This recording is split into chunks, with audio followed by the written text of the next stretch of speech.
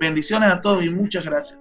Cómo no, gracias a ti, Ricardo, por la invitación. Y ya saben, yo estoy a la distancia de un clic. Un clic y ahí estoy yo con ustedes.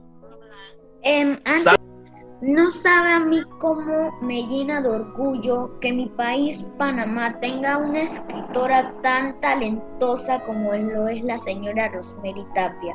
Y me llena, ah, es un honor tener el uniforme con el nombre Academia Bilingüe Rosemary Tapia. Es un honor para mí tener el honor de estar en una escuela tan hermosa como lo es la Academia Bilingüe Rosemary Tapia. Ay, Juan José, qué belleza, qué testimonio tan hermoso.